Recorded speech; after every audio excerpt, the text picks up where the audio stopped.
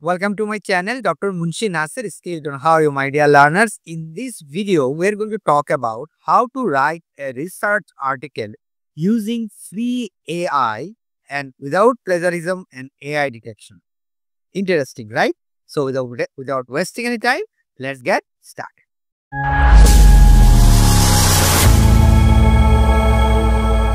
My dear learners, first of all, we have to decide the title.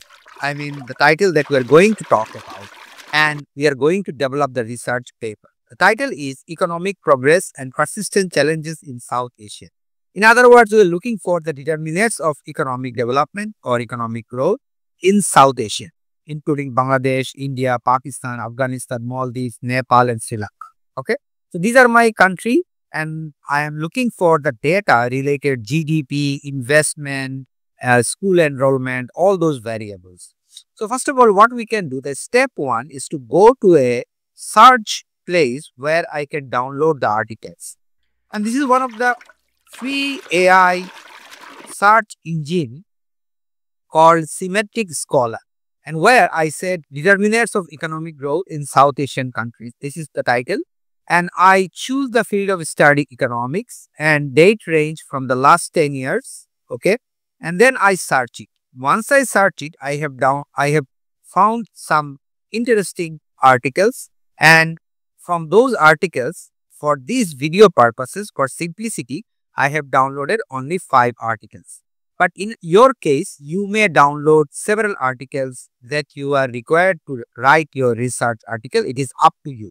But for demonstration purpose, today I am using only five articles relevant to my research title.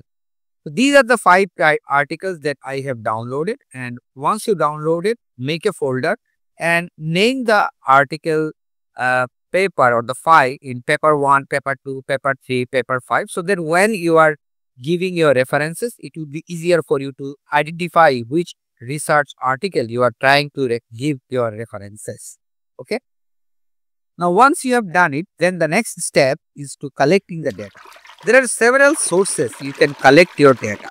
For secondary sources, one of the important sources is called the Our World in Data. And then another source called the World Development Indicators. For the primary data purposes, ChatGPT can always create some hypothetical data for you as a primary data and more quite often we have seen the data is more reliable and in my opinion you can use your primary data survey by using Google Sheet or maybe Google Form and using your social media platform to collect your primary data or you can assign research assistant, maybe an Upwork or freelancer who can help you to collect your data. So there are several ways you can collect your data.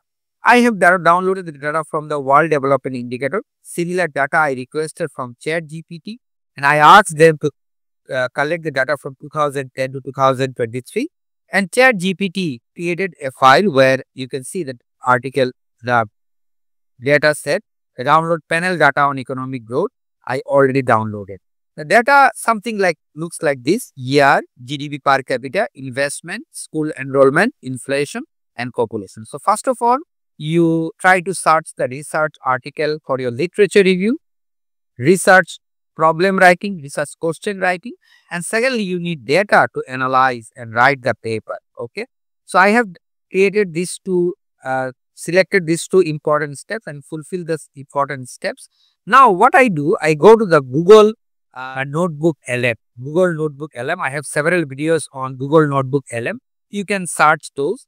But Google Notebook LM, what they can do, they can interestingly uh, write your literature review and introduction, research question, as well as your research problem. Identify very simply. So all you have to do, go to the Notebook LM, upload all the articles that you have downloaded for your research uh, paper writing for references, for literature review or writing introduction. And once you uploaded it, you can write down, write a research problem, research question in introduction from these articles. So it will give you an idea about what are the research question, research problem from those articles that it will read for you. You do not have to read anything. Once you have done it, you need to write down that uh, write without plagiarism and AI detection, meaning original writing. So, upon this instruction, it will rewrite your whole thing again without plagiarism and AI detection. Okay.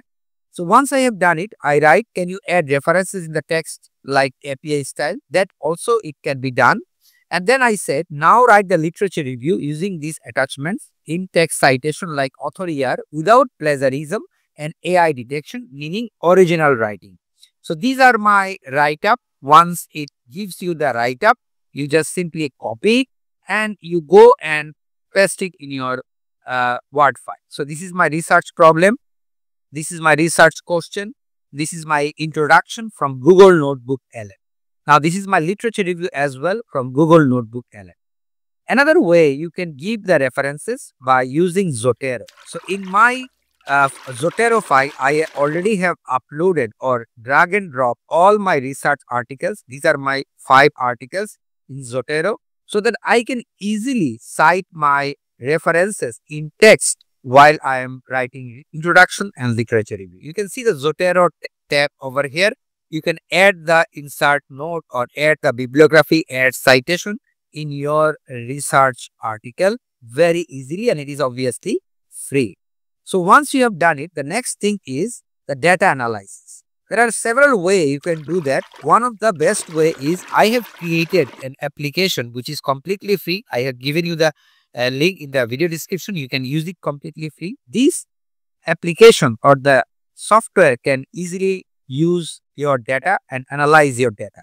Another way you can go to the Bricks AI, the AI spreadsheet to build reports and dashboard and you can get started for free. You can upload your data and ask them to analyze your data. Another way you can do it by simply go to the Grok, which is a Elon Musk AI, Grok AI, and upload your data set and ask them to analyze. So after analyzing the data set from my application, the results are like this. So cold information, model summary, all the visual effects and everything is all done. So you can use my application or you can use uh, Bricks AI, Grok AI, even you can use ChatGPT to analyze your data and it will give you a results like this. Okay. Once you have these results, you can always use other softwares like JASP and Blue Sky Statistics, which are completely free. And once you have the results, all you have to do, go to the Grok, you go to the Grok and write the Grok that you want to write the literal, explain the results, paraphrase, paragraph wise according to the journal style and make it original writing without plagiarism and AI detection. Word 1000 words, no plagiarism and AI detection. This is my result, econometrics results panel data. So the Grok is already giving me the all the analysis from my article, uh, result discussion, or you can say that the outcome of my data analysis. Grok already explained it to me very nicely. Okay. So once it is done, you copy the whole thing and paste it to your result and discussion. You can see that I already pasted in the Grok's outcome from over here. So once you have this, you need to select the journal. It is very important before you write the whole manuscript to find out the journal.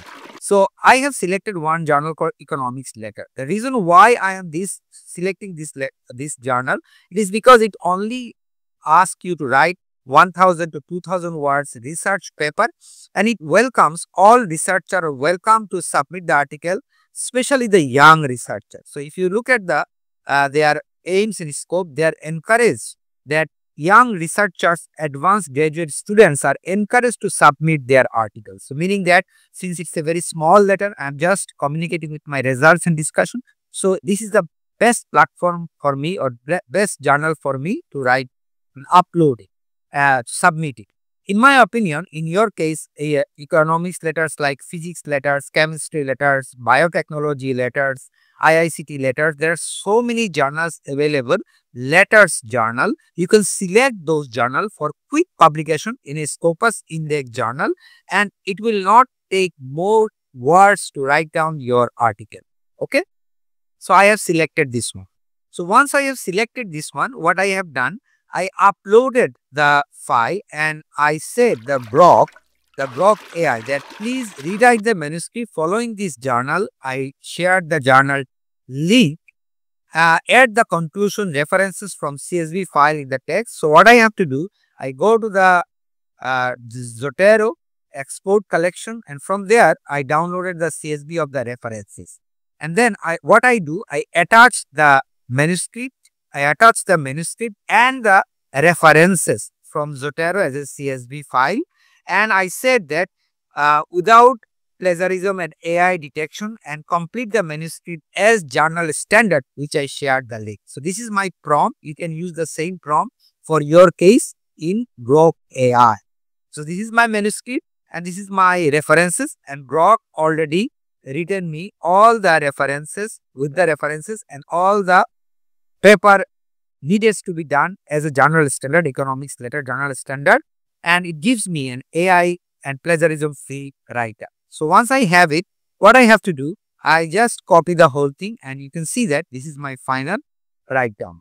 So once I have this one, I have seen that the there is a higher AI detection in my article. So what I have to do, I again go to the Grok AI and I said that in the Grok's prompt that you see to further reduce the AI detection score, I said that still showing high AI detection, reduce it in 20%.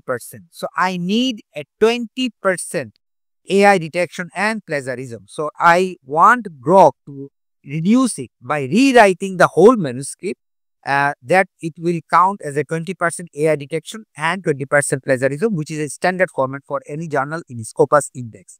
So it is it started writing it and then it gives me this write up in the right hand side. Once I have it and I completed this one and this is my AI plagiarism law. This is the whole article. And once I have this one, you can use uh, different equations and in my previous video I have shared that in equation you can go to the insert press equation and LaTeX and convert current professional all the chat GPT grok equation will be converted to a professional equation writer okay so you can use this technique once you have it then what you have to do you go to the Turnitin software okay so I first go to the Turnitin software and I have seen that my AI detection was 25%. My First, in the first case, AI detection was 25% and similarity index is 21%. The reason of my similarity index is not because the content, it is because the references. So, if you reduce or deduct, deduct the references, my similarity record is very good. It is almost plagiarism free. It is almost plagiarism free similarity index. But my AI detection is higher, right? So I again reduce it by asking Grok to reduce it into 20% as I told you, reduce it 20%. So Grok, what I have done, it actually reduced close to, close to zero, close to zero. So the similarity is still 21, 22% without referencing. If you reduce the referencing, the, the write-up will be reduced to 20% and the AI write-up is almost zero. AI detection is almost zero. So now you are ready to submit to your journal because it is AI detection is free, plagiarism is less than or close to 20% and if you reduce the references, it will be nothing in the plagiarism in terms of your research article writing. And I have searched that what is the standard, how much plagiarism is allowed to Scopus Index journal, a maximum of 20% similarity or 20% AI detection is accepted for Scopus Index journals. So in my opinion, if you follow these steps using Grok AI, then Notebook LM, then my application or Grok AI for data analysis, Bricks AI for data analysis, select your journal, letters type of journal, data from World in Data or our uh, World Development Indicator, you can easily submit to a Scopus Index journal, a plagiarism free and AI detection free, and you will hopefully get your dream publication in Scopus Index Journal without having any difficulties. So thank you so much my dear learners for watching this full video. I'm very happy and grateful for you. I will see you in the next tutorial with more exciting information. Until then, bye-bye.